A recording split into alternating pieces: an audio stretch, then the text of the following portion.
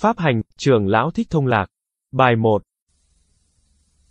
Hôm nay à, trước khi à, mấy con à, học cái giới hành, cái giới hành tức là cái pháp môn tu tập cho cái, cái giới luật của Phật nó được nghiêm túc, nó được thanh tịnh. Do đó mới gọi là giới hành. Thì từ xưa đến giờ hầu hết là cái người mà dạy giới á, thì người ta chỉ dạy giới bổn cho nên người ta không có dạy cái giới hành cho nên người ta không có biết cái pháp nào mà để mà hành à, làm cho nó được cái giới cho nó thanh tịnh và cái người mà giữ giới đó được nghiêm túc mà không phải lấy giới mà ức chế. Do vì vậy đó mà hôm nay thầy bắt đầu để dạy cái giới hành như năm rồi trong cái giáo án thầy đã dạy à, từ cái giới đức giới hạnh à, giới tuệ. Nhất là trong cái năm rồi thầy dạy giới tuệ rất nhiều cái giới đức tuy thầy có dạy nhưng chưa được đầy đủ, cái giới hạnh cũng chưa được đầy đủ. Chỉ có cái giới tuệ thì nói rất nhiều.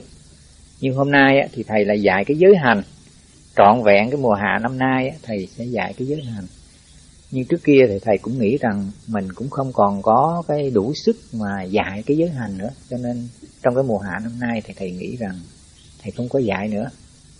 Nhưng cuối cùng thì thầy thấy hầu như là nếu mà không dạy cái giới hành thì các con như thiếu sót. Không biết mình tu tập như thế nào mà thầy dạy toàn là giới luật không? Không có cái pháp môn nào mà gọi là cái pháp môn tu. À, cho nên thầy triển khai cái giới hành để cho các con biết cái pháp nào mà thực hiện cho được cái giới luật nghiêm túc thì cái pháp đó gọi là cái giới hành. Đó.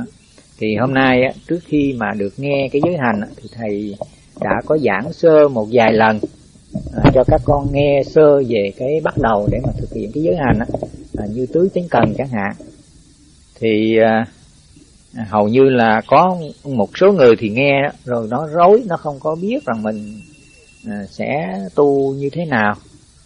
À, hồi nào tới giờ mình tu như vậy mà bây giờ nghe tới cái giới hành thì không biết là mình tu có đúng hay sai. À, cho nên nó rất là rối rắm ở trong cái đầu của mình. Hỏi của út do những cái sự hỏi của út á thì cho nên ừ, cô út có hỏi lại thầy. À, cô có đặt thành những câu hỏi cô hỏi lại thầy. Và đồng thời thì cũng có những cái điều kiện là à, có người nói cổ dạy khác không có giống thầy thầy dạy khác cổ dạy khác. À, cho nên do đó thì à, cổ hỏi ừ, cổ dạy như vậy mà riêng thầy dạy như vậy có giống nhau khác nhau chỗ nào?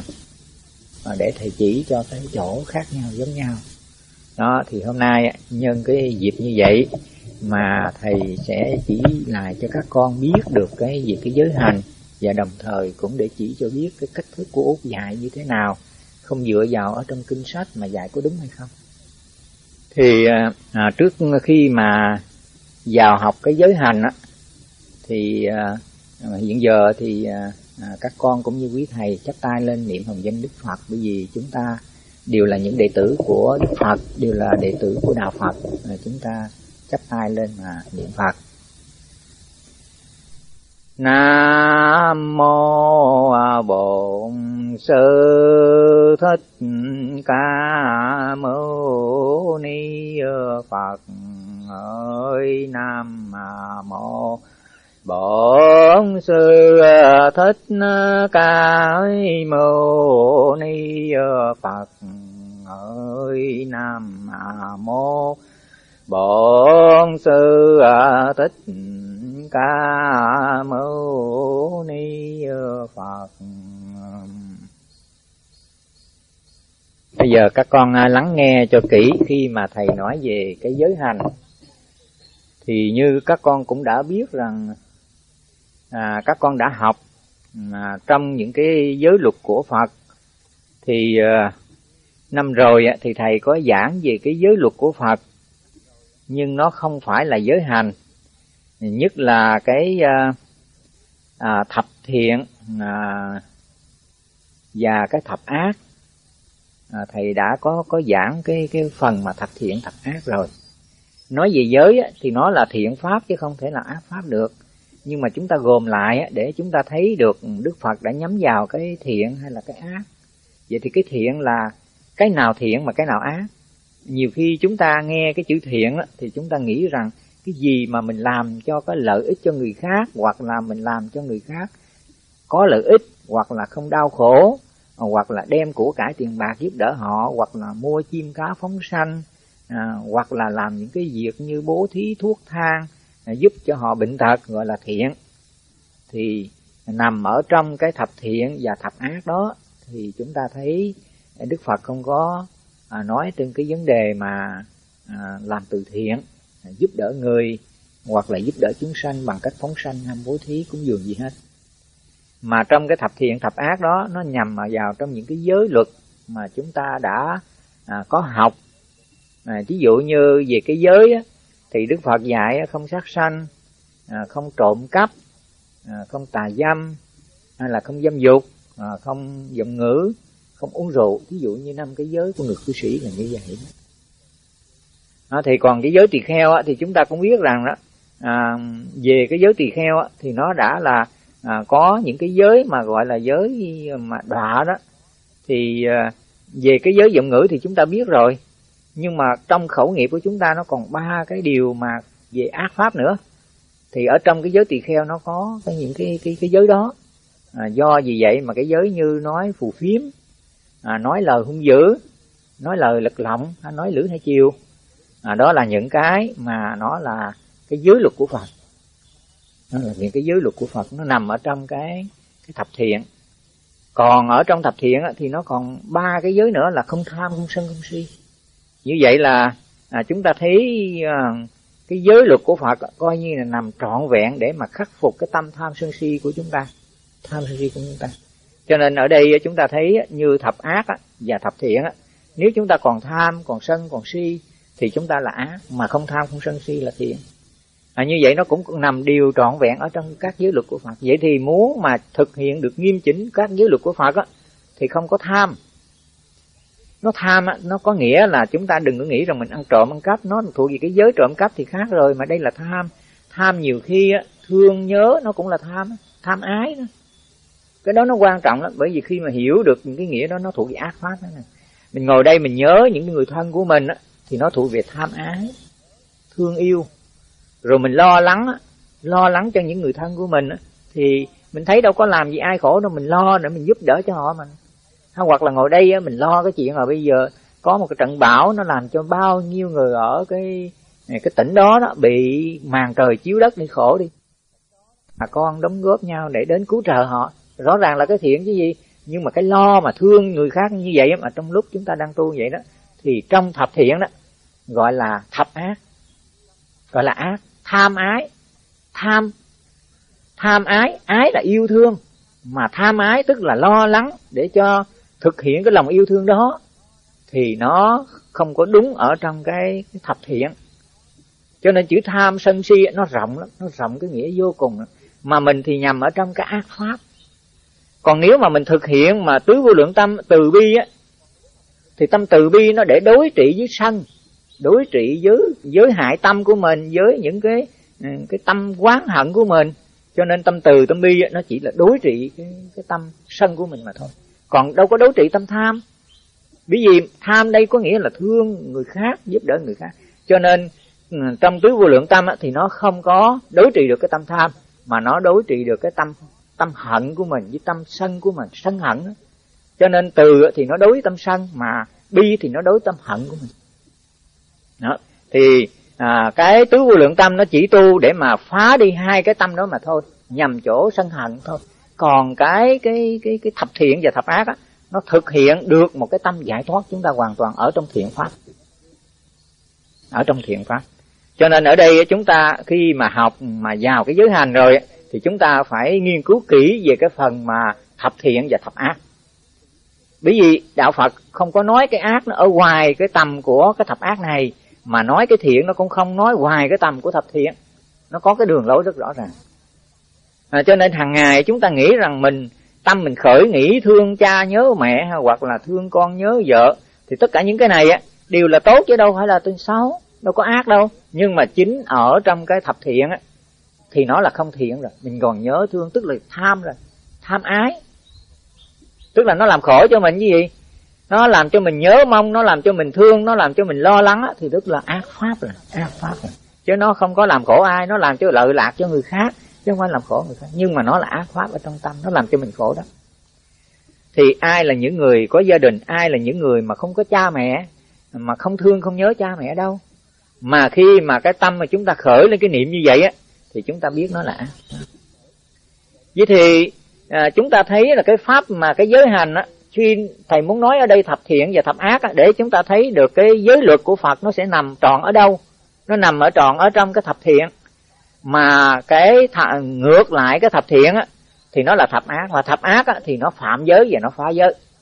Nó phạm giới và nó phá giới. Cho nên ở đây á, mà chúng ta tu tập á, thì chúng ta phải hiểu biết được cái thiện và cái ác. Chứ không khéo chúng ta nghĩ bây giờ mình mang tiền bạc mình cứu trợ người ta là thiện. Đó là mình tu về tứ vô lượng tâm tâm từ.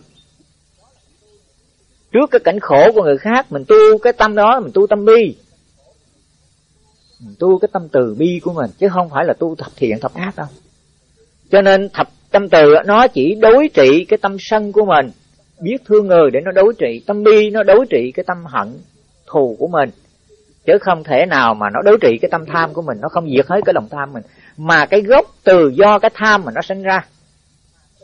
Từ do cái tham mà sinh ra mà từ cái chỗ mà vô minh nó, nó mới sinh ra cái tâm tham của chúng ta. Chúng ta không hiểu chúng ta mới chấp đắm. Cái đó là đúng cái đó là sai cái đó là thiện cái đó là à, phải cái này là như thế này thế khác. Cho nên từ cái chỗ vô minh vậy thì từ cái chỗ mà thầy nói ra những cái đó để cho quý thầy biết rằng hiểu rằng cái đó là không đúng cái đó là sai cái đó là ác cái đó không không thiện nó đem đến cái đời sống cho quý thầy khổ đau.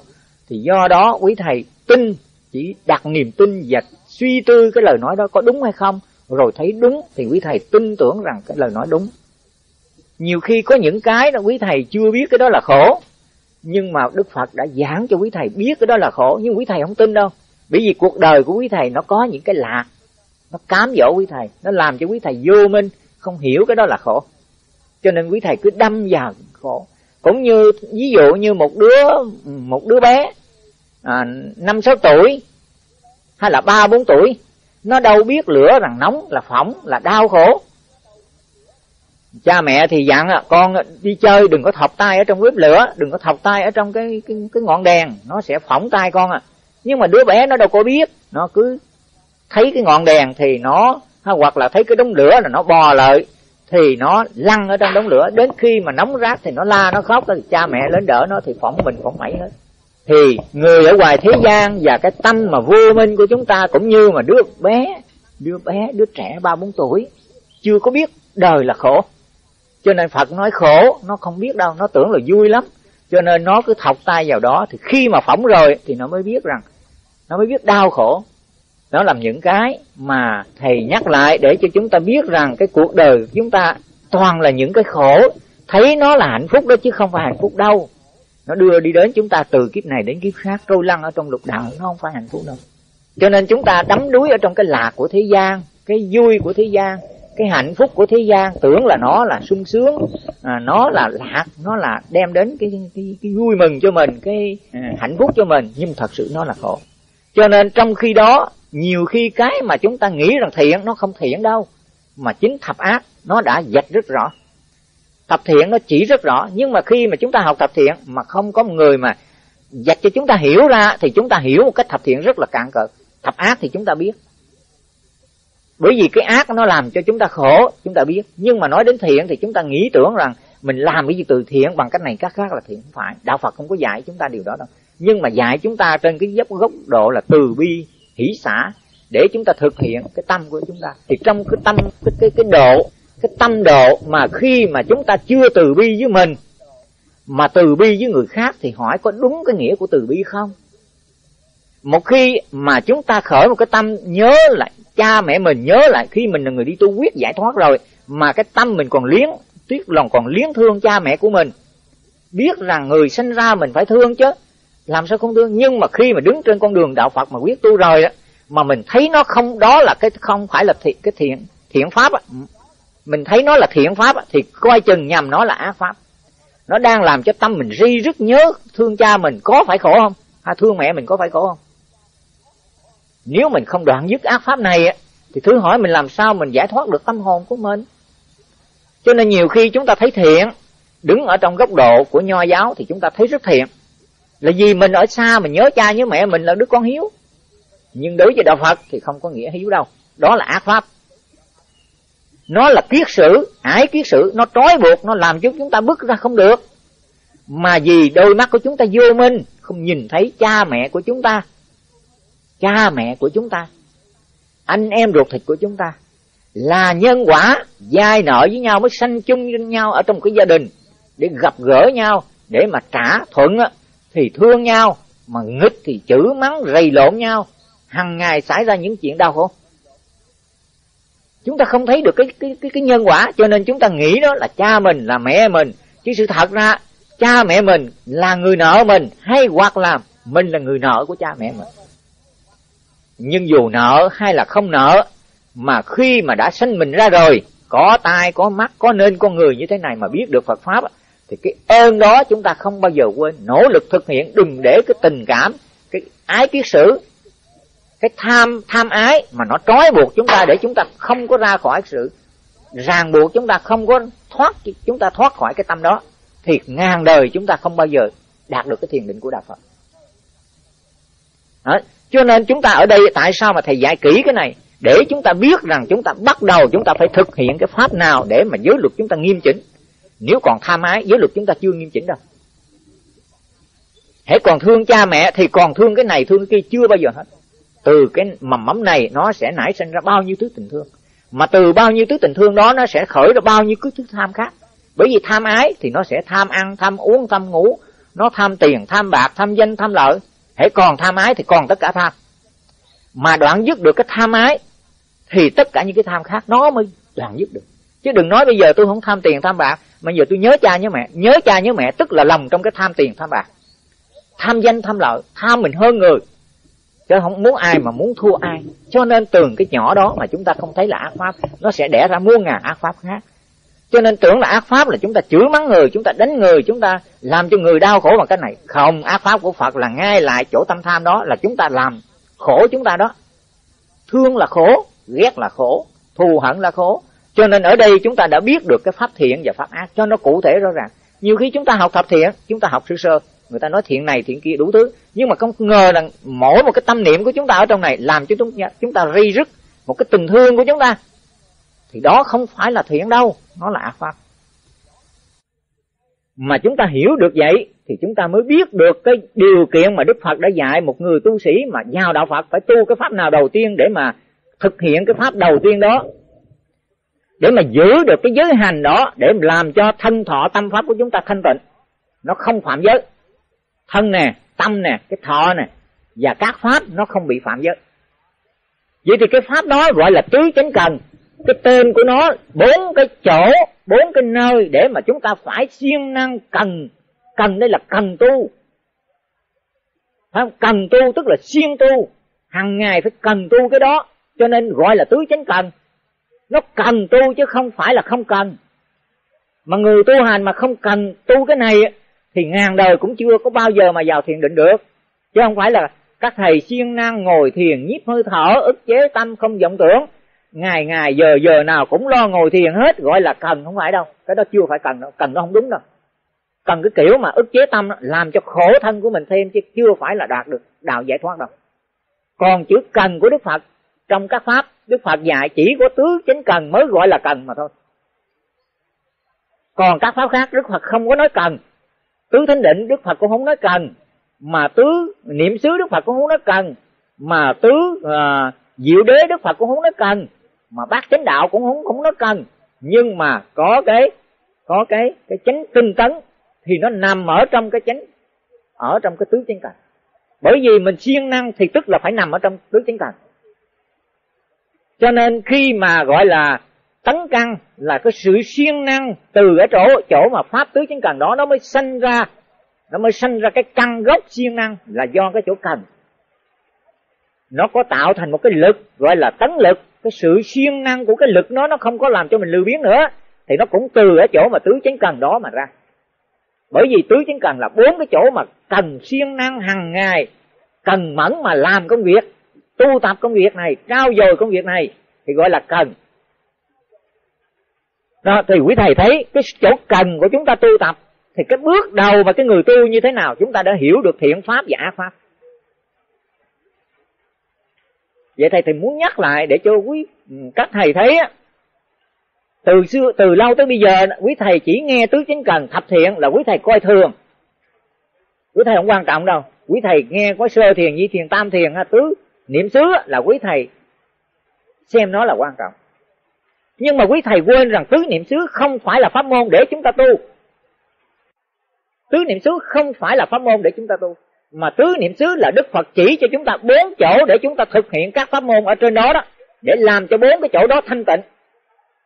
Thầy sắp sửa dạy cho các thầy biết rằng tứ niệm xứ, thường thường hồi nào tới bây giờ người ta triển khai tứ niệm xứ, là người ta thấy như có một cái pháp môn tứ niệm xứ để mà chúng ta tu tập ở đây thầy triển khai tứ niệm xứ không phải là pháp môn để chúng ta tu tập, mà là bốn cái chỗ để chúng ta thực hiện các pháp môn, làm cho bốn cái chỗ đó thanh tịnh.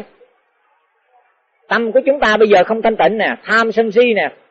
Thì bây giờ chúng ta phải ở trên cái tâm đó mà làm, tu tập các pháp khác để cho cái tâm chúng ta không tham sân si. Cũng như thân của chúng ta nè, bất tịnh nè, nó nó sanh dục nè, nó ham cái thứ này thứ kia nè, nó đòi hỏi ăn uống nè nè nó chưa có thanh tịnh nè. Thì cho nên nơi trên thân của chúng ta phải tu tập làm sao mà cho nó không ăn uống phi thời nè. Thấy thực phẩm thực phẩm mà nó không thèm nè. Thì như vậy là ngay trên thân mà chúng ta tu tập. Trên thọ là nơi cái thọ của chúng ta nào nó đau, nó nhức, nó khổ nè. Nó đòi hỏi những cái lạc nè, ăn ngon nè. Nó đòi hỏi những cái êm ấm nè. Nó thấy những cái gì nó thích thú cho cái thân nó thoải mái, dễ chịu là nó đòi hỏi cái đó. Thì cái thân của chúng ta đang ô nhiễm cho nên chúng ta phải tu tập ngay từ ở chỗ cái thọ của chúng ta, cái thân của chúng ta, cái tâm của chúng ta để cho nó thanh tịnh, nó không bị ô nhiễm. Đó. thì như vậy thì chúng ta mới thấy được cái con đường của đạo phật. Chứ không phải tứ niệm xứ là cái pháp để cho chúng ta tu tập cái tâm của chúng ta ở ngoài cái pháp này. Mà tứ niệm xứ là ở trên thân của chúng ta nè.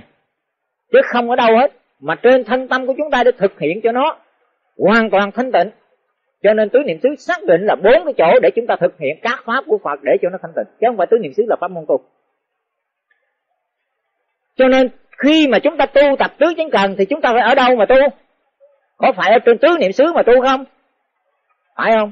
Bởi vì cần để mà tu tập cái thân của chúng ta thiện nè, cái tâm chúng ta thiện nè, cái thọ chúng ta thiện nè. Cái thọ bây giờ nó thấy đồ ăn nó thích nè, nó thích ăn ngon cái miệng đó nè, thì chỗ mà cảm xúc để mà ngon nó đó, thì cái đó là cái thọ nó là ác thọ, chứ không phải là khổ thọ, chứ không phải là cái cái thọ mà nó thanh tịnh đâu. Nó tốt lành đâu. Cho nên ngay từ đó mà chúng ta khắc phục được cái thọ, khích, thấy thực phẩm ngon, không ăn, không thích, không thèm, thì đó gọi là chúng ta ở trên cái thọ mà tu cái thọ. Các pháp, thân chúng ta là một pháp, tâm chúng ta là một pháp này, thọ là một pháp này. Các pháp xung quanh chúng ta nè nhà cửa, tủ bàn, ghế, giường chõng tất cả mọi vật, quần áo, y áo của chúng ta, mặc nè, đều là các pháp hết. Mà mỗi pháp nào mà nó làm cho thân tâm chúng ta đắm chìm ở trên pháp đó là ngay ngay trên pháp đó chúng ta phải xả ly, chúng ta phải tu tập cái pháp gì để làm cho nó ly ra hết. Thì như vậy gọi là trên tứ niệm xứ mà thực hiện các pháp. Chứ không phải tứ niệm xứ có pháp tu thầy sắp sửa dạy cái cái giới hành để chúng ta biết được cái chỗ mà chúng ta tu. Như vậy bây giờ, một cái người mà sắp sửa mà tu thiền định, thì chúng ta phải thực hiện cái pháp đầu tiên để mà đạt được cái thiền định. Đó là tứ chánh cần. Bởi vì Phật đã dạy cần cần tu cái này đầu tiên, cần tu hàng ngày. Khi mà cái này đạt được rồi thì tất cả các cái pháp khác chúng ta dễ dàng tu lắm, không còn có nữa. Vậy thì bây giờ chúng ta cần cái gì? Thứ nhất, cần cái gì? Nó có bốn cái cần lần mà tứ là bốn lận mà. Thứ nhất là các pháp ác chưa sanh không cho sanh. Vậy thì các pháp ác như thế nào? Hồi nãy thầy có nói thập ác rồi. Bây giờ cái tâm nó thương nhớ này, nó là ác pháp rồi. Cho nên chúng ta biết nó ác pháp thì bây giờ nó khởi, nó nhớ cha mình, nó nhớ mẹ mình, nhớ anh, nhớ em mình. Đoạn dứt liền, nó khởi lên cái niệm thương nhớ đó là đoạn dứt liền. Gọi là các pháp ác chưa sanh thì không cho sanh. Mà không cho sanh thì nó ở trong thập thiện cái gì? Chứ nó đâu phải là sanh cái thiện nào khác hơn. Nếu các ác pháp có, thì thập thiện không có. Còn thập ác không có, thì toàn là thiện cái gì? Chứ đâu phải là các thầy nghĩ là phải đem gạo, đem thóc tiền bạc cho người khác là thiện đâu. Không phải đâu. Bởi vì tâm có quý thầy, nó khởi lên tham muốn, thương nhớ là nó ác pháp. Bây giờ nó không khởi tham muốn, thương nhớ là nó thiện pháp. Vậy thì khi mà ác pháp không khởi thì tức là thiện pháp khởi. Cho nên phật nói cái ác pháp chưa sanh thì đạo dứt đừng cho các ác pháp chưa sanh thì không cho sanh. Luôn luôn giữ tâm bằng cách nào? Thì thầy từng dạy các các thầy rất rõ khi giữ tâm nó mà đừng cho nó sanh các hóa ác á, thì các thầy phải tu tỉnh giác chánh niệm. Phải không? Đi kinh hành nè làm công việc nè đừng có cho một cái niệm gì khởi ở trong đầu của mình thì có phải là giữ các pháp ác không sanh không? Phải không? Bây giờ quý thầy này nhiếp hít thở, hít thở trong hơi thở này tức là thân hành niệm á. Hành niệm nội á thì quý thầy hít thở nè phải không? Mà hít thở mà mà không cho một cái niệm nào mà khởi ở trong tâm của mình có phải là ác pháp đã bị ngăn chặn không? Không cho sanh. Nghĩa là mình dùng cái cái chánh niệm tỉnh giác nè cái định niệm hơi thở nè mình tu tập thì các pháp có sanh không? Đâu có sanh. Còn nếu mà mình làm biến nè, thì mình ngồi lại thì nhớ cái này, nhớ cái kia, nhớ nọ, thì các pháp có sanh. Tức là mình có ngăn chặn không? Không có ngăn chặn. Mà không ngăn chặn thì nó phải sanh thôi. Mà nó đã sanh thì mau mau phải diệt. Phải diệt nó bằng cái định gì? Quý thầy biết diệt nó bằng định gì không? Đó là định vô lậu. Các thầy phải quán nó cái đó là ác pháp hay là thiện pháp? Cái đó là như thế nào? Nó đem đến quý thầy khổ hay là không khổ? Các thầy hiểu chưa? Cho nên quý thầy đã thực hiện cái định vô lậu. Phải không? Cho nên khi mà nó đã sanh thì các thầy phải thực hiện định vô lậu. Mà khi mà nó chưa sanh, nó chưa có sanh ra, thì các thầy phải tu chánh niệm tỉnh giác. Đi kinh hành, làm mọi công diện quyết sân, quyết nhà, tất cả mọi cái đều giữ tâm ở tỉnh thức. Không cho một cái niệm sanh ra mà không cho cái niệm sinh ra, tức là không có ác pháp sinh ra. Phải không? Tức là thực hiện tứ chánh cần. Cái ác pháp không sinh ra thì tức là thiện pháp. Cho nên suốt ngày quý thầy không có sinh ra ác pháp thì thiện pháp chứ gì?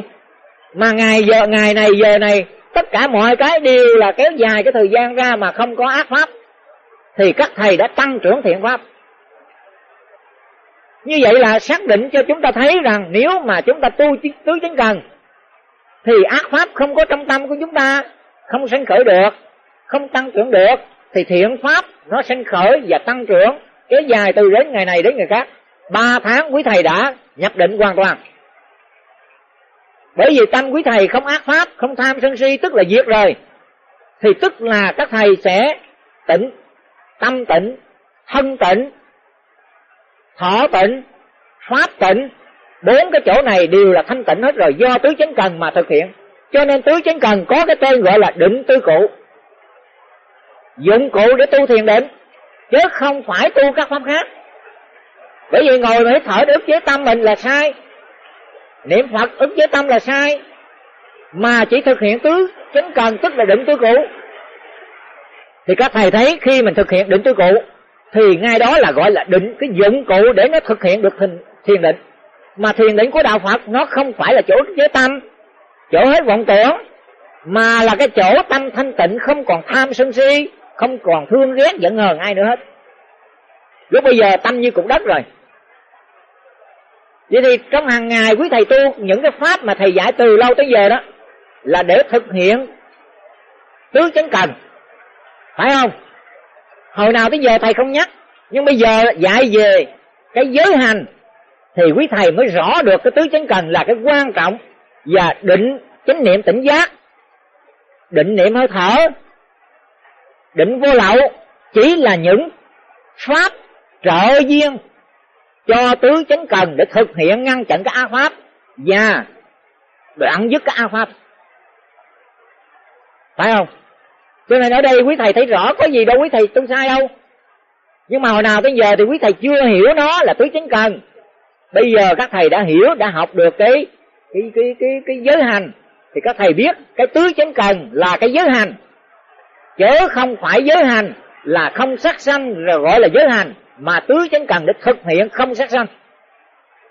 Không nói láo nè không dùng ngữ không nói lời hung dữ nè không trộm cắp nè không dâm dục nè.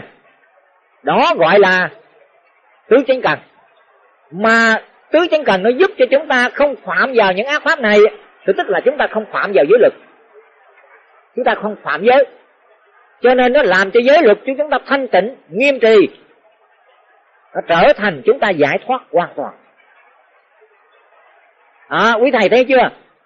Bây giờ quý thầy cứ lo ngồi thiền cũng chỉ là một cái một pháp môn nhỏ trên tứ tính cần mà thôi. Bây giờ giữ không biết hơi thở ra hơi thở vô nè không có niệm thiện niệm ác nè. Thì lúc bây giờ nó chỉ là ở trong cái niệm ác chứ không phải ngăn chặn cái niệm ác chứ không phải ngăn chặn niệm thiện. Vì thiện là một cái trạng thái, nó làm cho chúng ta an ổn. Không thương, không ghét, không giận, không hờn, nó là thiện. Còn cái người mà người ta tu thiền, mà người ta gọi là chẳng niệm thiện niệm ác, mình ngồi đây mình khởi nè, thương cha mẹ là thiện nè, mà lo suy tính một cái điều kiện gì để giết người, để hại người, để cướp của người, đó là ác. Người ta nghĩ là cái niệm đó niệm thiện niệm thiện và niệm ác, không phải. Ở đây khi mà cái cái tâm của chúng ta nó không có ác thì nó là thiện. Bởi vì thập thiện với thập ác nó đối với nhau. Hễ có ác thì không có thiện, mà có thiện thì không có ác. Mà hãy tăng trưởng thiện thì ác làm sao có được? Mà tăng trưởng ác thì thiện mất. Làm sao có có thiện được? Cho nên thiện không phải ở ngoài kia đem vào được, không phải ở chỗ khác mà đem vô đây được. Mà thiện ở trong tâm của chúng ta. Cho nên thập thiện, thập ác, vạch rất rõ để chúng ta biết và nơi đó mới giúp chúng ta giới luật nghiêm trì, không vi phạm giới luật. Đó, thì hôm nay các thầy đã học được cái bài học để chúng ta biết rằng tổng hợp tất cả những hành động mà các thầy đã tu từ lâu tới giờ không có sai chỗ nào hết. Không có sai chỗ nào hết. Nó nhằm vào ở trên tứ chính cần để thực hiện, ngăn chặn các pháp ác, mà tăng trưởng các pháp thiện. Bởi vì quý thầy kéo dài cái trạng thái mà không có niệm thiện niệm ác ở trong này á, thì kéo dài cái trạng thái này tức là tăng tăng trưởng cái cái cái thiện của quý thầy. Tăng trưởng cái tâm. Ví dụ bây giờ ngồi đây, tâm thanh thản này nó không nghĩ, thương, nghĩ nhớ, nghĩ ghét, nghĩ giận hờn ai hết. Mà từ một phút thì nó đã tăng trưởng một phút, mà hai phút, ba phút, năm phút, mười phút là nó tăng trưởng. Như vậy gọi là tăng trưởng thiện pháp. Tăng trưởng thiện pháp tức là làm cho tâm hồn mình giải thoát ở trong trạng thái tâm thanh tịnh mà tâm thanh tịnh đó cái tâm không tham sân si không giận hờn không giết hại chúng sanh đó thì cái tâm đó là cái tâm thiền định cái tâm định. Cho nên đức phật nói khi mà tâm định á, thì chúng ta dục như ý túc chúng ta muốn như thế nào đó chúng ta chỉ cần ra lệnh là nó để tịnh chỉ thai y như chúng ta muốn. Bây giờ bảo hơi thở ngưng thì nó ngưng bảo diệt tầm tứ nó diệt tầm tứ bảo nó quay vô không nghe âm thanh là nó quay vô không nghe âm thanh. Không cần phải chúng ta tập nhưng mà chúng ta cần phải ngăn ngừa các pháp ác không cho sanh. Sanh không cho tăng trưởng, đoạn dứt liền. Luôn luôn giữ gìn cái thiện pháp mãi ở trong tâm và kéo dài mãi, gọi là tăng trưởng đó. Có việc làm có bao nhiêu đó là đủ trên con đường của tu hành của chúng ta rồi. Đơn giản, dễ hiểu, không khó khăn gì hết. Chỉ vì chúng ta tu mà chúng ta không biết nó, mà chúng ta không giữ gìn nó, chúng ta không dụng các thì chánh niệm tỉnh giác định. Không dụng cái định vô lậu. Không dụng cái định hơi thở, định niệm hơi thở để thực hiện cho cái tâm toàn bộ thanh tịnh này. Không có ác pháp này, tăng trưởng cái thiện pháp này, thì tức là chúng ta đã đã vào thiền định. Vào thiền định rồi, tâm mà có định rồi, thì lúc bây giờ chúng ta chỉ cần dùng pháp hướng mà tịnh chỉ các hành mà thôi. Chúng ta nhắc một lần chưa xong thì hai lần, ba lần, năm lần, mười lần sẽ là xong. Sự tu hành như vậy, nó đem đến chúng ta dễ dàng thầy nói người nào tu cũng được pháp của phật rất dễ dàng. Không phải là người tu sĩ chúng ta tu mới được mà người cư sĩ tu không được không phải. Nghĩa người nào mà muốn sống đúng mà tu thập thiện này á với thập ác này á thì luôn luôn phải sống đúng cái đời sống. Phải sống đúng cái đời sống của người tu sĩ. Bây giờ đó thì à, à, các con đã nghe được biết được cái giới hành. Các con nghe thầy nói hết luôn cái giới hành là cái pháp môn tứ chánh tầm. Cái tên của nó là chánh tầm. Chánh là chuyên chánh, tầm là cần tu tập. Cho nên gọi là chánh tầm. Cho nên thầy nhắc lại, nó là một cái pháp môn cần phải tu tập nhiều nhất để ngăn chặn và không cho tăng trưởng các pháp ác. Luôn giữ gìn trong thân thọ, tâm pháp của mình. Cái pháp thiện, đó là một trạng thái tâm thanh tịnh là một trạng thái tâm định, hoàn toàn là thiền định của phật. À bây giờ thì các con đã hiểu được và biết được cái do cái chỗ mà cô diệu quan tức là cô hỏi, hôm nay thầy mới giải để cho các con thấy rằng cái định, chánh niệm tỉnh giác định vẫn là một cái pháp giữ cho thân tâm của chúng ta không sanh khởi ác pháp và không tăng trưởng ác pháp. Và định niệm hơi thở cũng nhắm vào cái mục đích là không sanh khởi ác pháp và không tăng trưởng ác pháp. Và định vô lậu cũng là một cái tứ định để khi ác pháp sanh ra thì nhờ cái pháp định vô lậu mà đoạn diệt, tức là quán xét để mà đoạn diệt, không còn lậu hoặc. Không còn lậu hoặc, tức là không có ác pháp. Có lậu hoặc, tức là ác pháp. Không có lậu hoặc là thiện pháp do vì vậy á mà các con đã hiểu rõ được từng cái pháp hiện về các con đang tu á là nó nhằm để trợ duyên gọi là trợ pháp.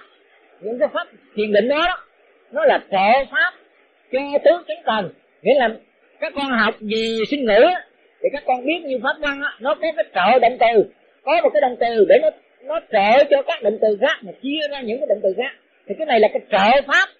Cái pháp nó trợ cho cái pháp kia để làm cho cái pháp nghe nó, nó hoàn mãn nó viên mãn được cái chỗ tu tập của nó. Gọi là trợ pháp. Các con hiểu cái danh từ là trợ pháp là nó trợ giúp cho cái pháp tứ chính cần á thành tựu được cái điều tu tập của nó gọi là trợ pháp. Sau này thầy sẽ dạy cho các con biết là cái định niệm hơi thở nó là cái trợ pháp cho pháp nào. Chứ không phải là nó tự nó đi vào cái, cái hơi thở mà đi vào thiền định được mà nó là cái trợ pháp để chúng ta thực hiện tất cả các định mà chúng ta nhập các định cho nên cái hơi thở cũng là một trợ pháp sau này. Còn hiện về đó, cái hơi thở nó là trợ pháp cho tứ chính cần nó trợ pháp cho tứ chính cần riêng vào cái hơi thở, để cho cái tâm nó không khởi ác pháp. Cho nên do đó nó giúp cho tứ chính cần thực hiện được thiện pháp. Như cô đã hỏi, bạch thầy, bắt đầu tu thiền định, phải tu pháp nào trước? Đó là cô hỏi thầy cái câu câu hỏi như vậy. Cô còn hỏi thêm thầy à, con thường nghe thầy dạy 37 phẩm trợ đạo từ bát chánh đạo thập thiện đạo tứ chánh cần tứ niệm xứ tứ thánh định thất nhất chi tứ như ý túc ngũ căn ngũ lực đến ngũ quẩn thập nhị nhân duyên tam minh vân vân. Thiền định của đạo phật rất nhiều con nghe thầy dạy rất nhiều không biết tu loại nào trước loại nào sau. Kính mong thầy chỉ dạy để chúng con biết để mà tu tập cho rõ ràng. Con nghe thầy dạy, thiền định gồm có định vô lậu, định sáng suốt, định chánh niệm tỉnh giác, định niệm hơi thở, định sơ thiền, định nhị thiền, định tam thiền, định tướng thiền, định vô tướng, định bất động tâm, định bất động thân, định không vô biên xứ, định thức vô biên xứ, định vô sở xứ, định phi tưởng phải vi tưởng xứ định diệt họ, tưởng định. Kính bạch thầy, mười sáu lại thiền định. Định nào tu trước, định nào tu sau. Định nào kết hợp với định nào. Để đồng tu một lượt. Định nào tu riêng một mình. Định nào làm trợ duyên cho các định khác. Cuối mong thầy, từ bi chỉ giáo cho chúng con, để chúng con tu tập lớp thấp, lớp cao mới có căn bản. Do cái chỗ mà hỏi của các con á mà cô út mới hỏi là thầy, hỏi từng phần từng phần nhỏ để mà thầy giải thích ra để mà các con hiểu. Còn 37 phẩm tuệ đạo, từ bát chánh đạo đến tam minh, vậy chúng con phải tu pháp nào trước, pháp nào sau? Mỗi pháp có phần khác nhau, giống nhau như thế nào? Nghĩa là mỗi pháp các con phải tu giống nhau sao, mà khác nhau như thế nào? Cũng hỏi vậy và khi thực hành tu tập, có tu giống nhau không? Xin thầy quan hỷ chỉ dạy cho chúng con biết đó thì trong cái phần mà thưa hỏi, một cái câu hỏi đầu tiên á, mà hỏi một số câu hỏi quá là nhiều, thật là nhiều. Nhiều để làm gì? Để mà thầy dạy cho rõ ràng, để mà các con biết cách dễ dàng mà tu. Nó như bắt đầu á, như vừa rồi á, thì câu hỏi đầu tiên á, thì thầy đã giảng cho mấy con đã nghe rồi đó. Giảng đã nghe rồi. Tức là chúng ta lấy tứ chính cần là cái pháp đầu tiên để mà chúng ta tu thiền định các con hiểu chưa? Tứ chánh cần là cái pháp môn đầu tiên để chúng ta tu thiền định. Mà đức phật đã xác định nó là định tư cụ dựng cụ tư thiền định. Và các con tu định chánh niệm tỉnh giác, định niệm hơi thở, định vô lậu là trợ pháp cho tứ chánh cần ở như thầy giảng hồi nãy rồi đó, thầy nhắc lại đó, nó trợ pháp cho tứ chánh cần vậy thì bắt đầu tiên á, thì cái câu hỏi đầu tiên thầy đã trả lời như thầy đã giảng rồi. Về ba mươi phẩm tệ đạo và về thiên định thì à, ở đây á, thì thầy cũng trả lời từng cái phần một để cho các con thấy trên cái bước đường tu tập của mình. Đầu tiên muốn tu tập à, thiền định của đạo Phật á, thì phải sống đúng giới luật. Muốn sống đúng giới luật thì phải sống thiểu dục tri túc phòng hộ sáu căn. Đó là thầy trả lời đầu tiên muốn tu theo thiền của đạo phật á như hồi nãy đó là cái pháp hành. Cái pháp hành là tứ chính cần nhưng chưa phải là pháp đầu tiên. Các ông nhớ, pháp tứ chính cần chưa phải là pháp đầu tiên ở trong sự tu tập thiền định mà cái pháp đầu tiên của sự tu tập thiền định thì phải sống đúng giới luật. Giới luật của đức phật, giới bổn viết ra như thế nào thì đời sống của chúng ta phải sống đúng giới luật. Đó là cái thứ nhất. Mà muốn sống đúng giới luật thì phải sống như thế nào mới là sống đúng giới luật? Vậy thì phải sống hiểu dục tri túc phòng hộ sáu căn. Vì giới luật của phật đưa ra vậy, mà nếu mà chúng ta sống không thiểu dục tri túc, không phòng hộ sáu căn thì chúng ta không sống đúng giới luật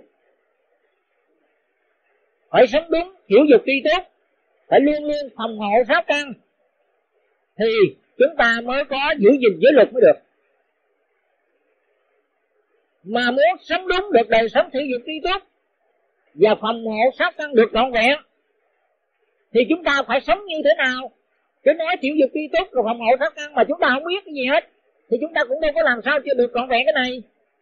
Do đó, chúng ta phải lấy ba hạnh, ba cái hạnh. Đó là ăn, ngủ và đọc thư. Mà thầy thường nhắc nhở quý thầy ở đây.